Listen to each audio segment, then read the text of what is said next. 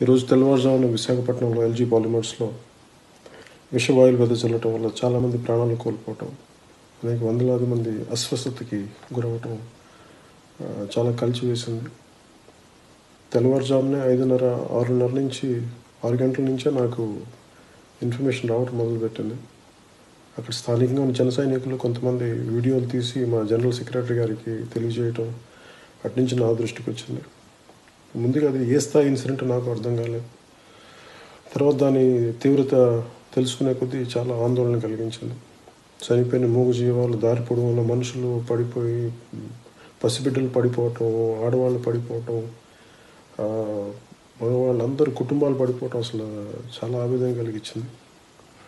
ముందుగా చనిపోయిన మృతుల కుటుంబాలందరికీ మనస్ఫూర్తిగా నా తరపున జనసేన తరపున మీకు నా ప్రగాఢ సానుభూతిని తెలియజేస్తున్నాను. ఈ సమయంలో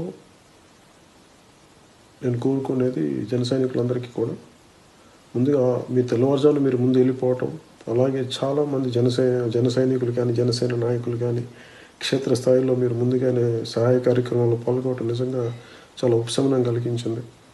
ఇదే స్ఫూర్తిని మీరు దయచేసి ఇదే స్ఫూర్తితో మీరు బాధితులకు అండగా నిలబడండి. If you like the video, please like, share, comment and subscribe click on bus. For more notifications, please press bell icon.